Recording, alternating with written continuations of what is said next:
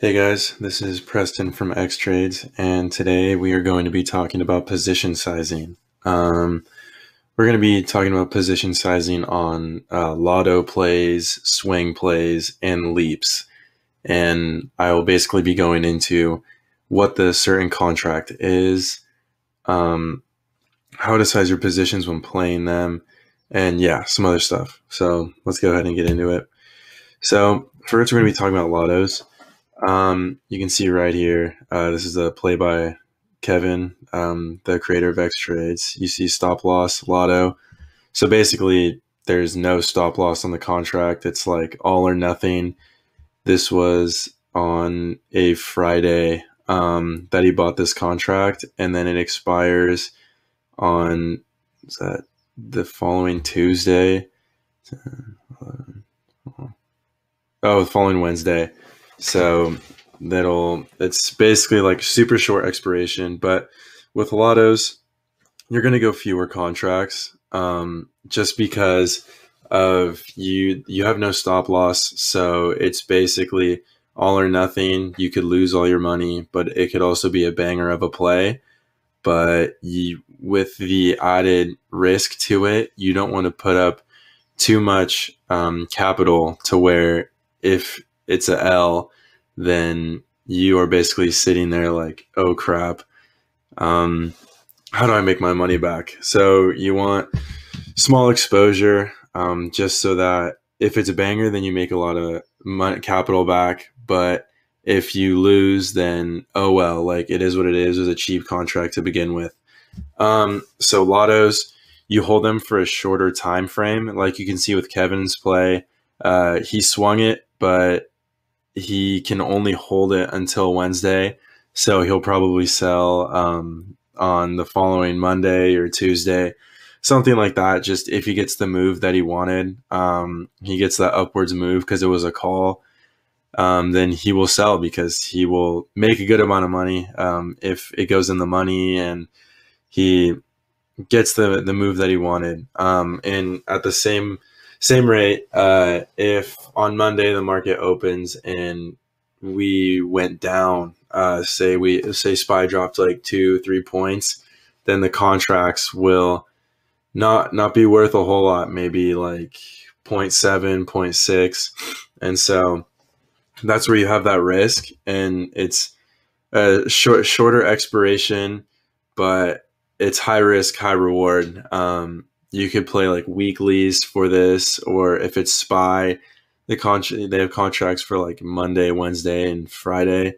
So pretty much just it's always a weekly. Um, in in alerts, they'll say like, "Oh, this is a lotto," um, and it gets our bot actually tracks it as a lotto and says this position is risky and everything of that sort. So it's they're awesome plays, but yeah, definitely fewer contracts and uh, shorter hold. So getting into swings, um, you'll have more contracts because it's a more the chart has a better setup, and you've been waiting to get into this play. So you can see here with Kevin, he AMC play July 16th. So it's um, bought that on Friday with a week to go and so he can swing it into the into the next week. Has a stop loss, and the contract is a little more expensive compared to uh, what we had here with the spy play. So you're gonna have more contracts, but with your stop loss, you won't lose as much money per se um, when you stop out compared to if your lotto play went to uh, zilch. So they're less risky.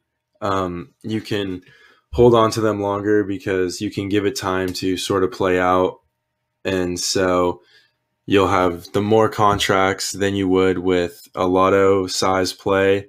And you want to leave room to average down if you need to. Uh, options Guru likes to do that a lot. Um, he'll buy fewer contracts at the start of the play and then give it time to develop. And if we go down a little bit, then he'll get into his full position size.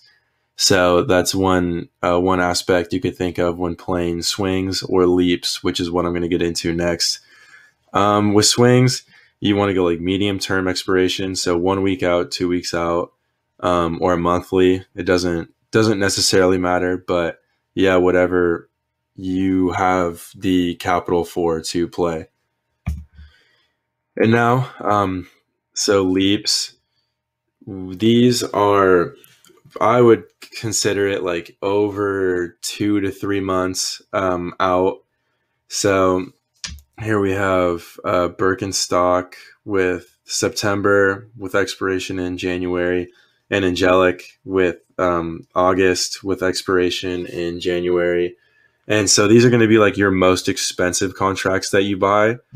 And so you'll have the most exposure with these contracts. So you buy um, l- like less contracts than you would with like say weeklies or even lottos. You buy like two or three of these contracts because they're so expensive, but you have the most exposure out of any of these three uh, contract styles. So you can have like three of these contracts, but at the same time, it's going to be $1,800 or $1,500. So you, you can think about it from that perspective is that fewer, not, not fewer is better. It just depends on uh, your account size and how much you're willing to put forth because with these contracts, you are you've been waiting for a while to get into this. You're looking at like the weekly the weekly time frame chart or the daily time frame chart, maybe the 4 hour, but if you're entering a leap like this, I would say like weekly or daily uh, candle time frame for your chart. And these are going to be your longest hold. You swing them for like a month or 2 months. Just you let the play develop because you won't be losing as much premium. And so you can you can hold it there's less risk like if you're down say 15% for a month or 2 weeks it doesn't necessarily matter. You can have those like diamond hands or hodl as they say just because you have all this time on the contract and you should start worrying about it like with uh Birkenstock's play here like maybe in October getting into November and then with Angelic, uh, same, same thing because it was pretty much the same expiration. So that's that's pretty much that. And then so here we go. We have a summary, uh, just capping off the video, going over everything I talk, talked about. Um, with lottos, you go less exposure, and they're the cheapest contract, but you still want to have uh, the le- like the least exposure on those because if they hit, you'll get a good return since it's like a short term, you're expecting a big move. And if they go, they go against your the direction that you want, then you don't want to be losing too much capital. And so least exposure, uh, less contracts, but upside is fairly large. And then the most contracts, but medium exposure would be on swings. And those are week out, two weeks out, or a monthly and that's pretty much like you have a stop loss set at like 20% or 15% and you're going to be swinging it for a couple days or a week. And so you have been looking at the chart for a minute um, just looking at the four hour hourly. And yeah you're okay with getting a little more exposure in there.